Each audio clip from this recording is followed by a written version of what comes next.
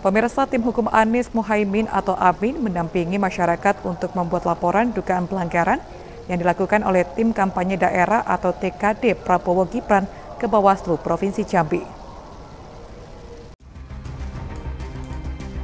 Kamis 18 Januari 2024, tim hukum Amin mendampingi masyarakat untuk membuat laporan ke Bawaslu Provinsi Jambi terkait dugaan pelanggaran yang dilakukan paslon nomor 2 Prabowo Gibran. Yogi Rahmadinata selaku tim hukum AMI menjelaskan bahwa dirinya mendampingi masyarakat membuat laporan dugaan pelanggaran pemasangan APK berupa baliho di kantor Pusat Koperasi Unit Desa atau Poskot Provinsi Jambi. Tim hukum Amin menyerahkan barang bukti terkait peraturan, identitas pelapor, pemberitaan di media.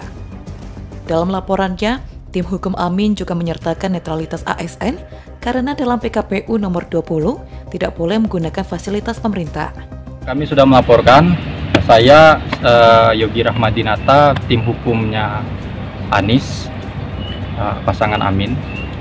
Hari ini kita sudah melaporkan, Alhamdulillah, terkait, terkait dugaan pelanggaran kampanye pemasangan baliho di kantor Puskut Provinsi Jambi. Sampai saat ini kami sedang mengumpulkan data-data dan fakta. Tentunya kita untuk melaporkan suatu hal kita perlu bukti-bukti, kita perlu keterangan-keterangan, informasi-informasi yang perlu digali. Nantinya kami akan terus bergerilya untuk mengawal proses pemilu ini. Sandi, Jek TV, melaporkan.